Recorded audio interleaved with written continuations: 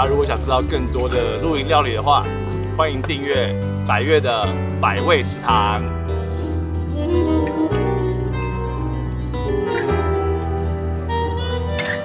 真的非常可以。我决定了，我回去要把那个百味食堂他们三十集、三十多集吧，他们现在有三十多集，也就是说有三十多道料理，我要全部把它看过一遍。觉得真的是太好吃了